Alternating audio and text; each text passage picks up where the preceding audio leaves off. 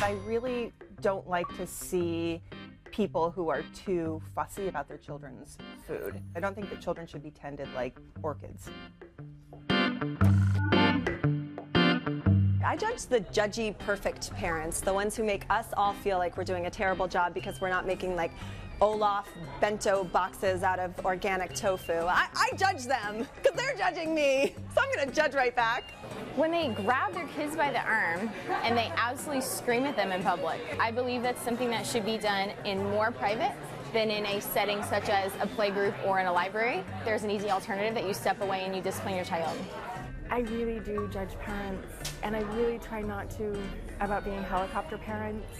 I judge other parents sending their kids to school with head lice. You're being judged right now. Are you kidding me? Everything. Everything. You dress your kid like that? You let him out of the house like that? You're going to a play and he's wearing lycra shorts? It's a play. Sweatpants? And whenever I judge someone, that's what happens to us.